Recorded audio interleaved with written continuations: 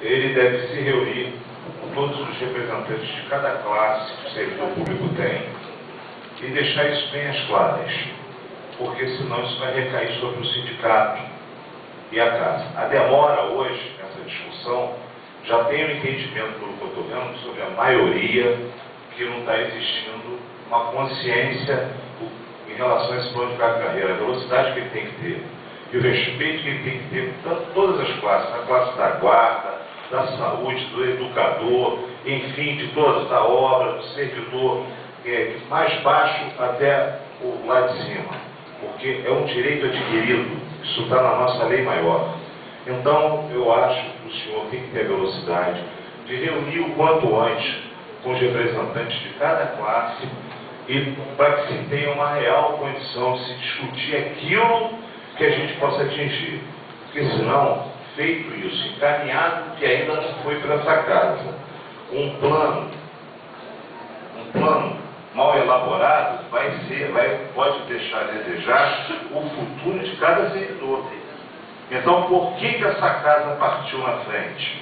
Na discussão que quando eu recebi via e-mail, eu, vereador Simões, vereador Gustavo, e recebemos panfletados por alguns servidores no dia do título de cidadão logaritimense, nos preocupou de imediato. Tanto que a discussão da sessão passada ordinária nessa casa foi voltada para o assunto dos senhores, onde tivemos aí já na primeira preocupação de convocar o servidor para que viesse nessa casa o presidente, para que desde já, vereador Gustavo, não percamos aí tempo e no que diz respeito à mobilização e à união de cada servidor, porque o futuro de vocês está sendo lançado daqui por diante. E se fizer errado esse plano, o preço vai ser muito alto para vocês depois. Então eu acho que é hora de participação. Eles vão encaminhar, nós vamos estar lá agora discutindo, o senhor vai nos acompanhar, vamos ter um compromisso de novo de estar aqui com o senhor, vamos marcar para quarta-feira que vem, tá bom assim, vereadores? Quarta-feira que vem, pode ser? Na outra quarta, se é essa outra, do dia 30, do dia 30 de novembro, que essa já temos, já temos, já tem, já tem compromissos com, outras, com outros temas. Pode ser para o senhor? O senhor pode ser, inclusive, toda, toda discussão em torno pode contar comigo qualquer dia, qualquer hora. O entendimento para a gente formar isso, depois eu deixo o presidente, o, relator dessa comissão fazer a consideração final, que o senhor não tenha mais nada para falar, para a gente poder dispensar o Lorete no nosso encontro lá junto com o representante. Então eu passo a palavra para o vereador Simão e o vereador Gustavo conclui e eu finalizo. Presidente, só para o senhor ter noção é, da defasagem que está, eu tenho aqui a tabela do plano de cargo dos servidores do Legislativo. A classe A, de 0 a 5, 627. A C, de 0 a 5, 758. A E, 917. O nível superior a A, 1881, de 0 a 5. Então, o que, que pode ocorrer? Nós podemos ter dois planos, o da Câmara e o da Prefeitura, e tornar inconstitucional. Já tem isso ainda. Outro detalhe, só para concluir. É, ano que vem, nós estamos entrando no ano eleitoral. Vamos tomar cuidado para que esse plano seja empurrado com a barriga e que eles aleguem que não tem condições de votar por causa do período eleitoral. Hoje, hoje, a nossa tabela atual, o menor piso, 443 reais, R$ 448,56. Abaixo do salário mínimo. Aí eu pago a complementação para chegar ao salário mínimo. Vereador Gustavo. Senhor presidente, eu acho que a discussão hoje teria que ser mais profunda. É, sinceramente, eu não estou preocupado com o horário de, de encontro nenhum. Eu acho que a gente tem que fazer cada coisa na sua, na sua, na sua ordem. E como foi alterada a ordem das coisas, também não vejo muita, muita preocupação alguém ficar presente, não.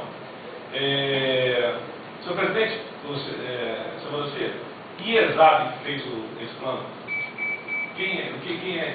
Que Instituto Escola Superior de IESAP, Instituto Escola Superior de Administração, Aperfeiçoamento Profissional. São João. Oi? É São João. Bom, tive, não sei, não tenho certeza, que o seu Sérgio Junde é secretário em São João do Meriti. Não tenho certeza. É o que a gente. A estrutura vem de lá, hein? Como o senhor disse, A cidade pequena a gente ouve muita coisa, mas eu não tenho certeza. A estrutura É, existe uma preocupação, que eu externei aqui na última sessão, sobre prazo, e aqui também fala na carta sobre prazo também. Existe uma confusão muito grande entre prazo eleitoral e ano eleitoral. Eu, sinceramente, não tenho agora uma opinião formada eh, sobre o assunto para a gente discutir em cima desse plano aqui.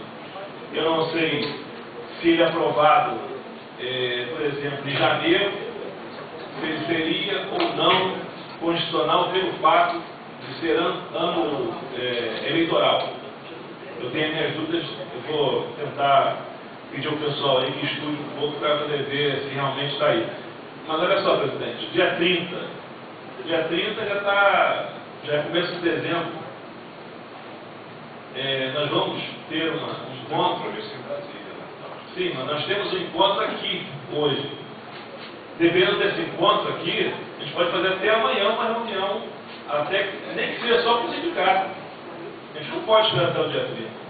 A gente, dependendo do Eu tem lá, entendo, eu entendo o vereador Gustavo, que ora bem, nós acordamos aqui, essa comissão acordou, já que o prefeito, o prefeito nos chamou, e aquilo que eu falei no início, continuo falando.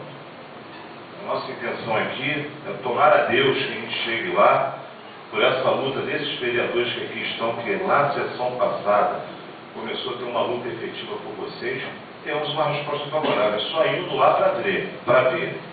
E a gente vai trazer uma resposta para os senhores, tenhamos uma resposta favorável ou não, continuando na discussão.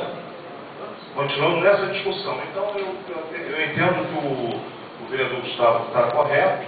Eu acho, tenho certeza que o senhor vai nos acompanhar agora, mediante a preocupação de todos os servidores. Eu até antecipo isso, vereador Gustavo. Essa comissão, a sessão começa às três e meia. Eu já me coloco à disposição de voltar para cá uma hora da tarde e abrir o trabalho de novo. Tá? Abrir o trabalho de novo até a sessão começar, para a gente já poder voltar a ser discussão, não deixar para amanhã não. Eu já convoco como esse presidente, já que temos um presidente sindicato aqui, estarmos de volta aqui às 13 horas, reabrindo essa sessão da comissão permanente, não vou deixar para amanhã não. Vou deixar para hoje, já uma hora da tarde. Se os senhores concordam? Concordo e convoco a todos os servidores que puderem retornar. Às 13 horas até para saber o que foi discutido lá. Não vou deixar para amanhã não. Está convocado uma hora da tarde hoje. Concorda, vereador? porque, presidente, tem